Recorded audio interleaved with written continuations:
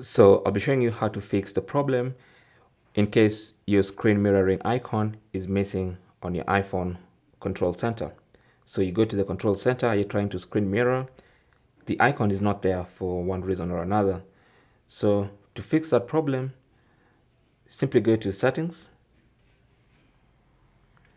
On the main settings page, scroll down to control center, tap on that. Under control center, you have two lists. You have included controls, then you have this list of more controls. So this included controls are the controls available in the control center right now, included in the control center. These ones could be in the control center, but are not. So the reason you're not seeing screen mirroring in your control center is because it's in this list. Here it is, screen mirroring.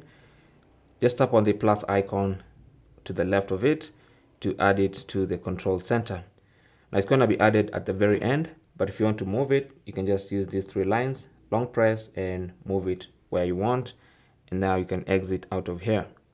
So now when you go to the control center, you should find you're missing screen mirroring icon.